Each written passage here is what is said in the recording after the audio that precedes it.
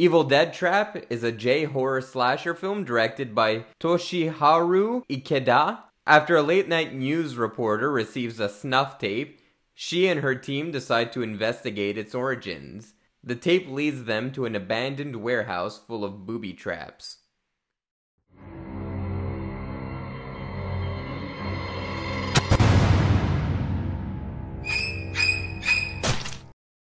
Hey guys, welcome back to Garage Slasherthon, where every day for the month of October we revisit a slasher movie.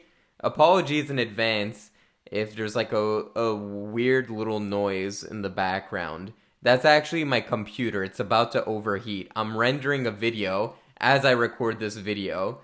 Terrible idea. Just listen what it sounds like. This baby's working hard. By the way, this movie has nothing to do with Evil Dead. Sorry for the people who looked up Evil Dead on YouTube and came across Evil Dead Trap. I think they just wanted to capitalize on the success of the Evil Dead movies. Nonetheless, I watched this movie because I heard it has one of the biggest what the fuck endings of all time. I tried to look up as much as I could on this movie. It's a relatively unknown movie. I found a few critic reviews, and all of them said, really good movie. But what was that fucking ending? Like, it really ruined the whole movie. Everyone said, great movie up until the third act. That was pretty unanimous. Am I any different?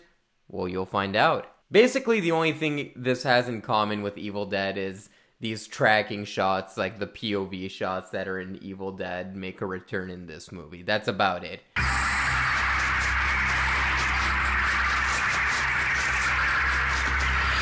And they're done for a different reason. It's like done for like weird transitions. When the movie starts, you you get exposed to the snuff tape and they heavily edit it so that you're not watching the whole snuff tape, but you get like bits and pieces of it. And it's a really freaky moment. And right there I was hooked. I was like this movie's got me. What are the critics talking about? This movie's got me already. It's got me in its stranglehold. It was like a clever way of like showing you the snuff tape, making you feel what it's like watching this snuff tape without really showing you the snuff tape. You get little glimpses, but then you get these weird filters and these strange artistic decisions, and it kind of just confuses you and makes you a little anxious. Uh, it was really well done. It kind of felt like an MTV ad. It was kind of goofy, but it, it really worked in the movie. And then there's that eyeball slitting scene right at the beginning.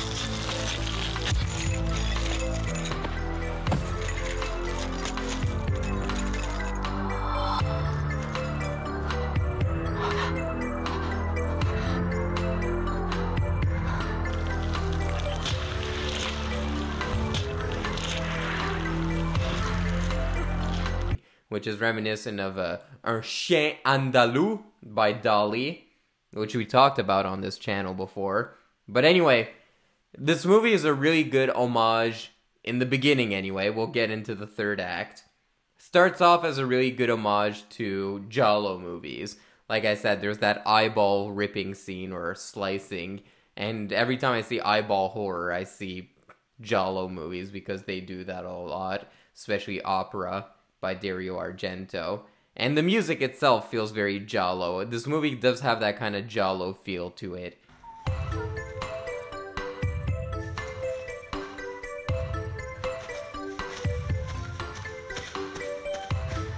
Which is interesting because uh, you're seeing like a Japanese movie pay tribute to an Italian movie. That's what uh, movies are all about. It's all about borrowing different stuff from different filmmakers uh, I'm not one for segregating the cultures. I like it when people borrow from other people and turn it into like a melting pot of everything. And this does feel like a precursor to the Saw movies because it's about a slasher who's planting these kind of booby traps all around. Kind of feels like You're Next in some regard. But there's one scene where there's a crossbow that's tied to a door and a character is about to walk into the door and you're just waiting for the crossbow to fire into someone else.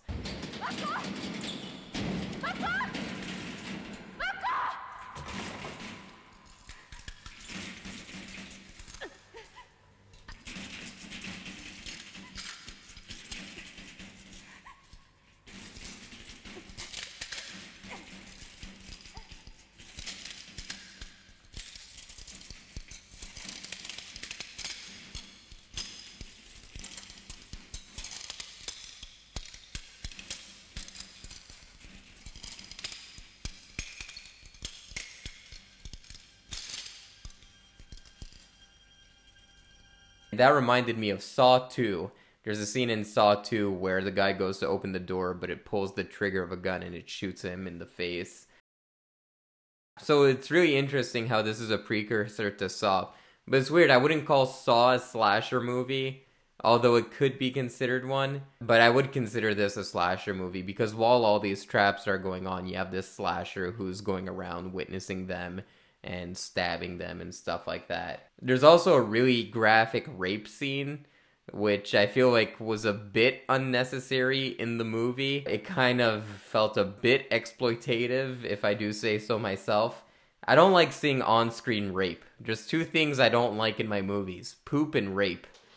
Uh, I'm a very normal individual when it comes to that, I guess. Guys, if you want to make a movie and recommend it to Garage Movie Club, just make sure it doesn't have poop or rape. But poop when it's funny is okay. It's just when they do it for disgusting, like Salo. Nah, I don't like poop. Thankfully, just, this movie just has the rape, so we're good. But speaking of things that get under your skin, there's a lot of creepy crawlies in this movie. If that's something you don't like,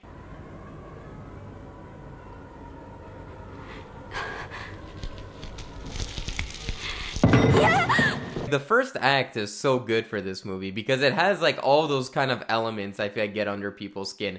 A lot of people say they don't like eyeball horror, you get eyeball horror. A lot of people say they don't like bugs, you get bugs.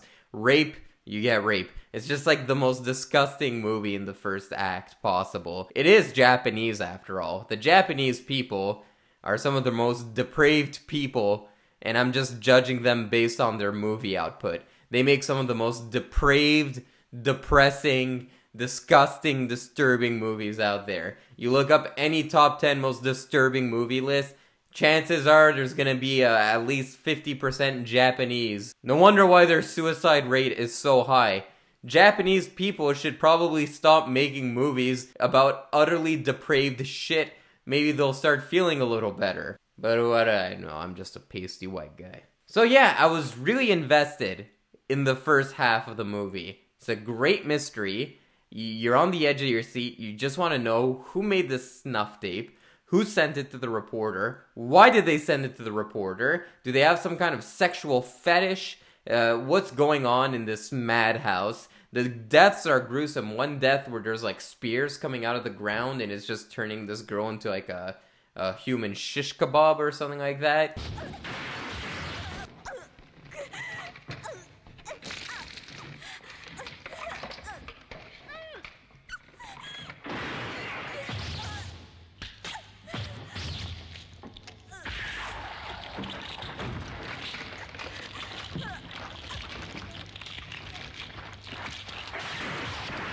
It was a really good death. Like I said, the crossbow death was really good, really gruesome, really disturbing stuff. Uh, really got under my skin. And but it, gore, it's not just gore for gore's sake. It's like there's a good mystery to it. And there's this kind of good dilemma between the protagonist and what's going on. The protagonist is someone who's obsessed with celebrities. She's a very vain character. And meanwhile, she's confronted by real danger for once. It's not some kind of fabricated news story. It's an actual disturbing event, and her vanity is causing the death of her friends. So, yeah, it was like a really investing first half. What the fuck happens in this movie? Okay? Journalist goes around trying to find who sent the snuff tape. Fairly grounded movie. You got some over the top kills here and there, but that's about it. Then you're introduced to this character who says he's been living in this warehouse for a while. He's been hiding out there, uh, dodging the murders. Then we find out he has a brother and he has a weird relationship with his brother. They're kind of estranged, but they're kind of close, he says. Obviously, he's the killer. That's not where the movie loses me. Where the movie loses me is this I think they were trying to do a play on Psycho. So in Psycho, the guy had like a dual personality where half of the time it was Norman Bates and the other half it was his mother. Um, this movie puts a twist on that. A nice little subversion. Everyone loves a good subversion, right? No, not me, because this subversion is straight up out of nowhere. So turns out he doesn't quite have a dual personality in this movie. Not quite, no. Turns out his brother is conjoined, fused to him. One brother is normal and the other one is just a fetus who is fucking attached to this guy. And he's in his stomach. And uh, throughout the movie, this guy's always complaining about heart problems. Yeah, turns out that's his heart problem. He has a fucking human being wielded to his chest. And the little human being is uh, controlling everything. It's kind of like the ending of uh, the James Gunn Scooby Doo. So uh, Rowan Atkinson is the bad guy in that movie, but turns out Rowan Atkinson is just a machine and he's being controlled inside by Scrappy Doo. That's what it reminded me of. Totally out of nowhere, it's a fairly grounded movie. All of a sudden, a fetus is controlling the killer, the slasher of this film.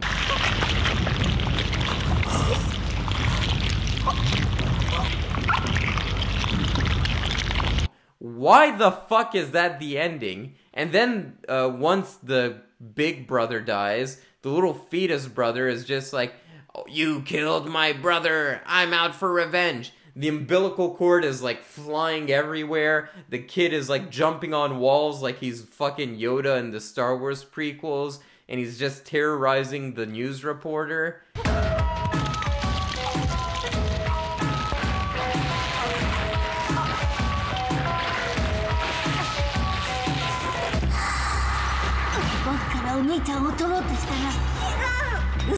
And I was like, why is this in the movie? It was so good.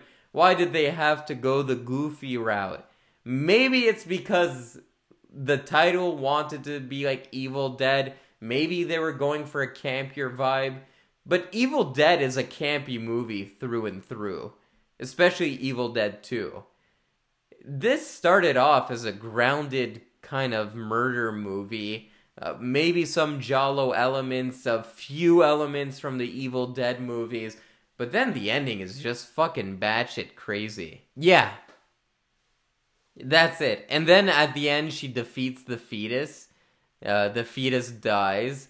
And then uh, it kind of has like the Nightmare on Elm Street end where you think everything is fine until, whoa, Freddy Krueger shows up. Psych! And they do the psych out at the end. Turns out the fetus impregnated the news reporter. So the news reporter thinks all is fine. She goes back to work, and all of a sudden, whoa, whoa fetus!